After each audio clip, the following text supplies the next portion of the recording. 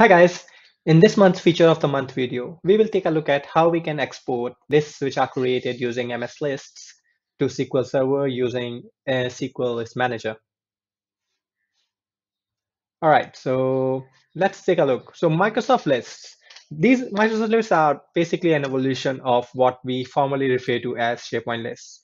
Now, the major difference between Microsoft Lists and SharePoint Lists is that Microsoft Lists uh, can be created and managed independently of SharePoint as well. So even though if you don't have a SharePoint environment, you can still go to MS Lists and then create lists and then manage them in a standalone um, app for MS Lists.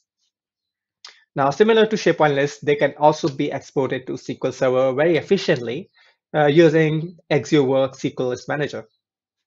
All right, so let's uh, let's take a look at how we can do this. Uh, so I will go to my apps in Office 365, and here you will see there is an option for lists.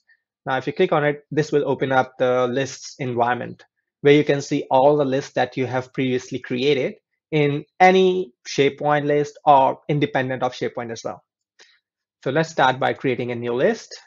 Now here you can select a blank list or you can use an existing list or a template as well. So let's just use a template this time.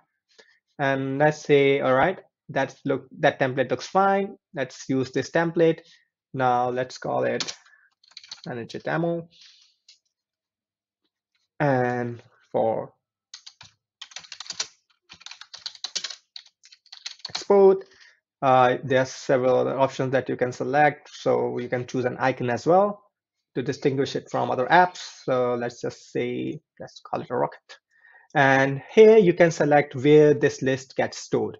Now you can either select a site, which is your SharePoint site, or you can select my list, which will store it in my lists, uh, in your lists.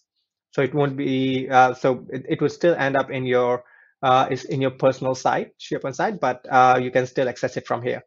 So let's select AxioWorks site for this one, and let's create it. Now, once it's, it gets created, you will see that you don't really need to go to SharePoint to manage it or create items in it. You can directly do it from here as well. So for example, if I want to create a new item, I can sim I can easily do it from here. Uh, me just select the picture for this.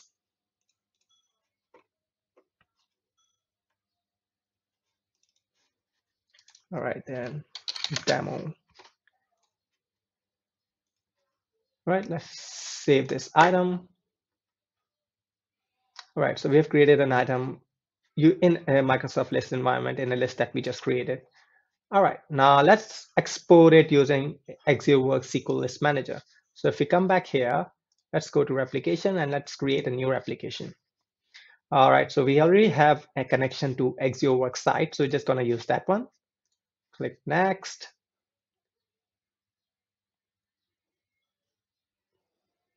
All right, so we know that we want to select an individual list this time.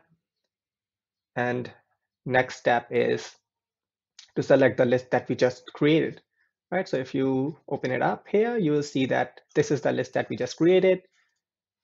All right, and for for the database connection, we will use this. So this is this, this is a database that I just created before this demo. And let's call it this application and let's just finish that. All right, looks good. Now we have created the replication and the service has started. So in a few seconds, we should be able to see that list here. So if I refresh it and all right, so you can see that the list has been exported as a SQL Server table. And if I look at the rows inside that, I should be able to see the, the item which I just created. As you can see, there's one item here. All right, uh, so that's pretty much it for today, guys. So today uh, we have we looked at how we can export my lists created in Microsoft Lists using SQList Manager to SQL Server. Hope this demo was helpful to you. And if you have any questions, feel free to ask at info at axioworks.com. And that's it for today. Take care.